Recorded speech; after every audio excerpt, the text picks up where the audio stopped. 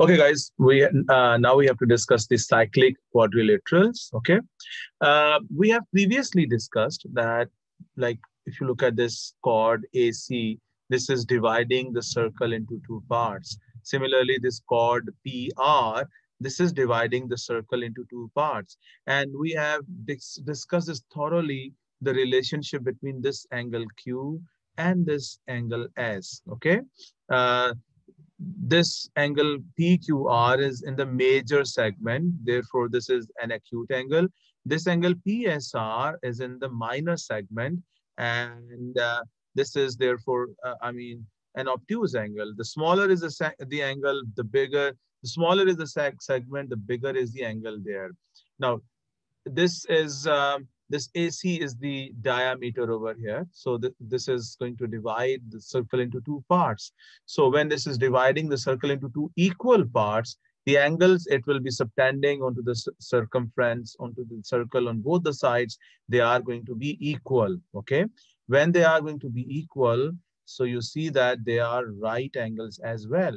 So from here, we can say that, okay, the angles on the opposite sides of a segment, they are supplementary. Like if this x plus y, this has been discussed in the previous uh, session as well, okay? So x plus y is 180. Like wherever you have this chord, it, it like the angles on its opposite sides, they will add up to 180 degrees. We have also discussed that if, for example, you have an angle over here. So this angle will also be the angle x because um, the sum has to be maintained as 180. So this is angle x, this is angle x over here. If I name this as the point T over here, okay? So this gives us uh, the second property, the angles in the same segment, they are equal. Anyhow, now, if you look at this A, B, C, D, this is a four-sided shape. And we know that the four-sided shapes, they are called the quadrilaterals, okay? So and these are, this is a special quadrilateral because all its vertices, they are on the circumference of, of the circle.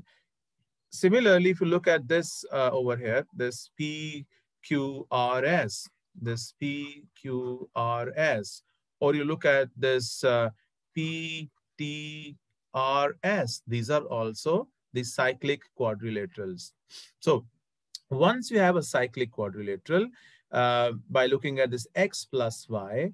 If this x plus y is 180, if this x plus y is 180, and suppose you have here the angle A and here the angle B. So what would you say about the angles A and B? What is the sum of all the four angles of, of a quadrilateral? Yes? Malaika, what is the sum of all these four angles? Of a quadrilateral? That is 360. And if two of the angles add up to 180, what will be the sum of the other two angles? 180. 180, very good. So you see that the sum of these two angles is 180 and these two angles are also going to add up to 180 degrees. So we have a rule here that whenever we have a cyclic quadrilateral, okay, you have a quadrilateral where all the uh, four vertices, they are on the circumference, okay, of the circle, then like maybe it may be like this. So this is uh, a cyclic quadrilateral. Let me call this as W, X, Y, and Z. Okay.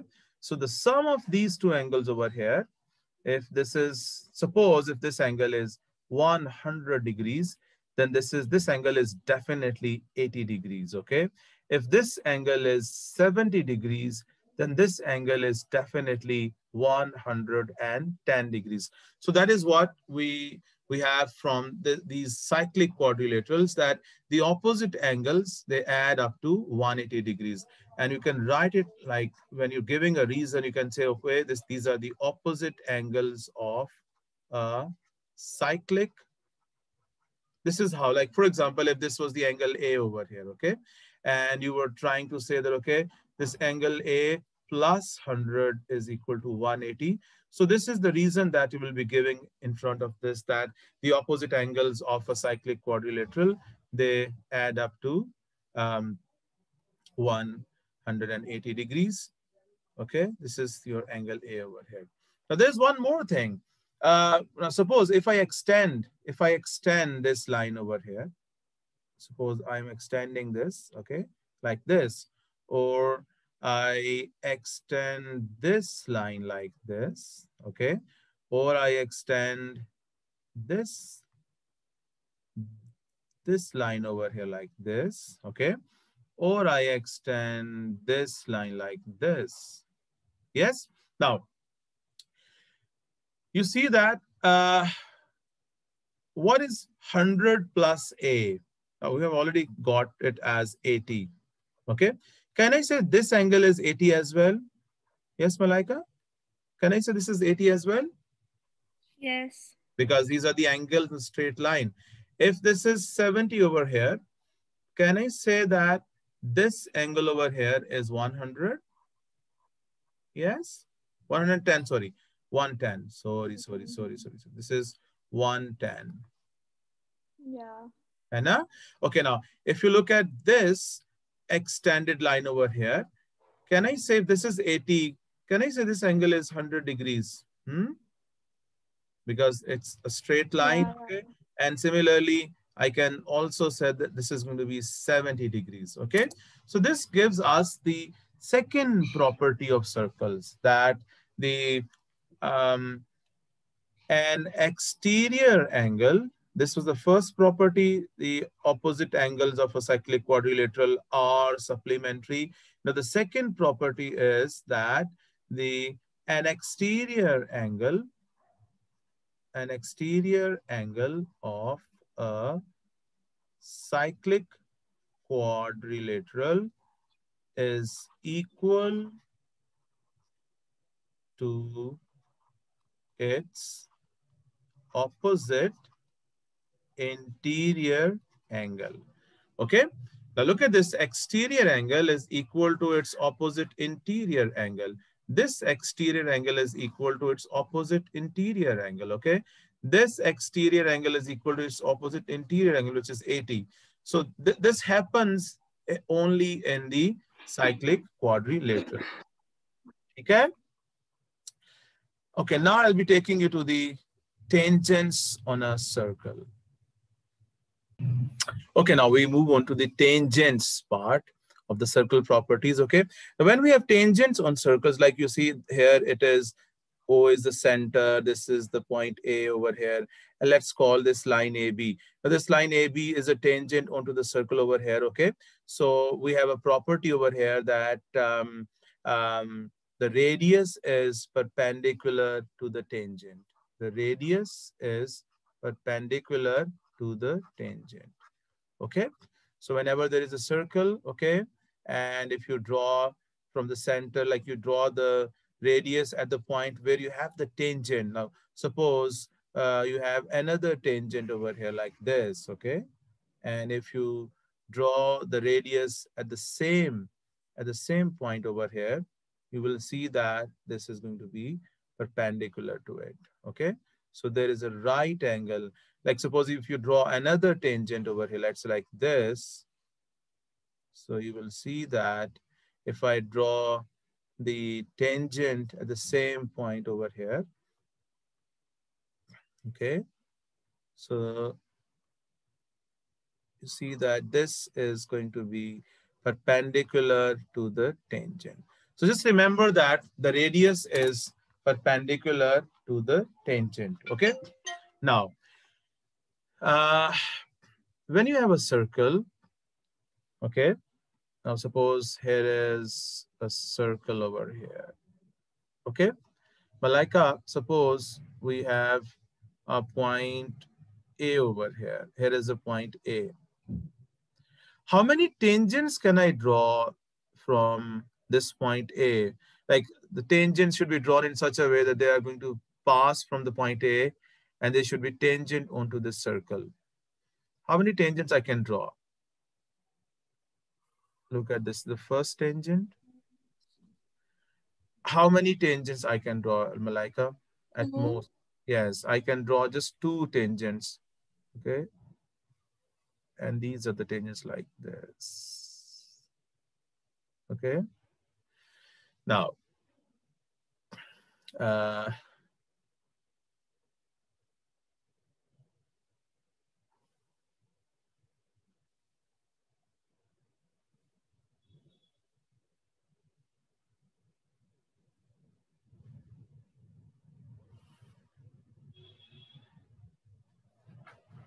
Okay.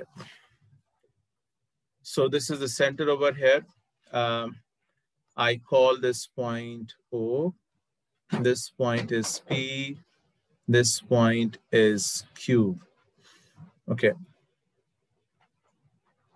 I want to draw a line OP.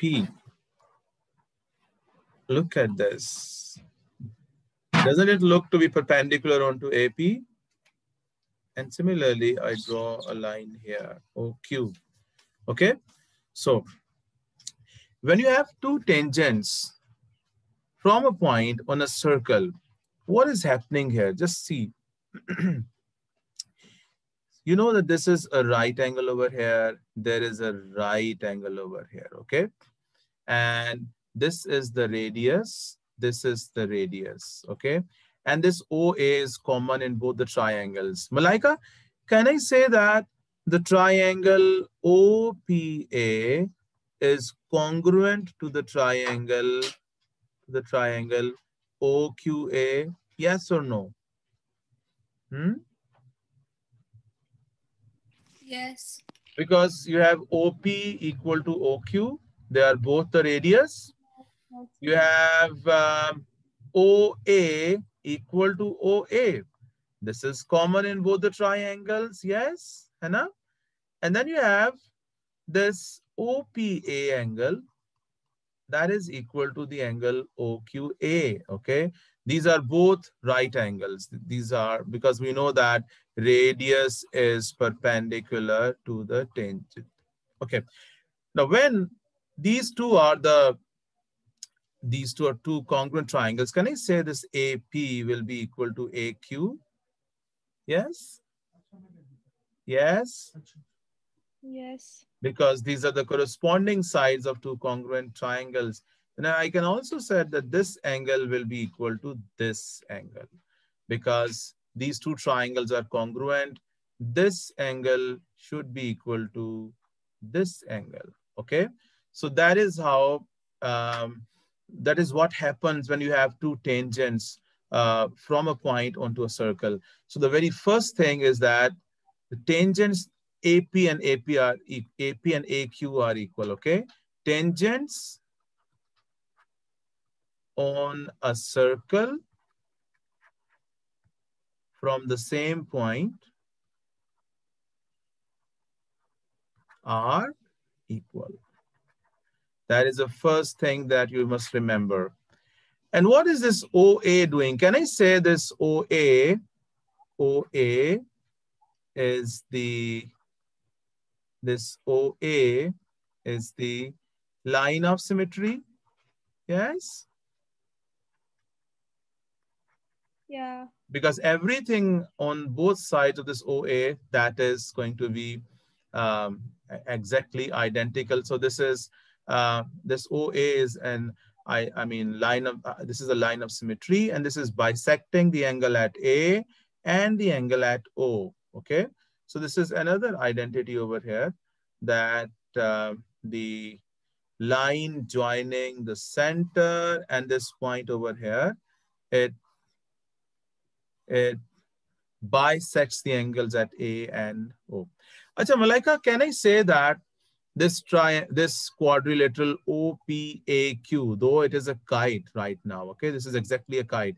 Can I say that this is also a cyclic quadrilateral? This OPAQ. This is also cyclic quadrilateral. Mm, yes. Why, why, why did, did you say yes? Um, because the tangent is on the circle and yes uh, and the radius is perpendicular to the tangent and Okay, let me let me make it clear. Normally, people say no because they know that um, a triangle, I mean, a quadrilateral whose all vertices are on the circumference only, then that is a cyclic quadrilateral. But look at this A. This is not on the circumference. This O is not on the circumference, but this is still a cyclic cyclic quadrilateral because what is P plus Q? What is P plus Q? 180. Then what should be O plus A? 180. 180. So even you don't see all these four vertices on the circumference, but you, you have identified, yes, the opposite angles are supplementary. So this is a cyclic quadrilateral. Okay, so now in the next segment, we shall uh, practice these questions on circles from past papers. So see you in the next segment.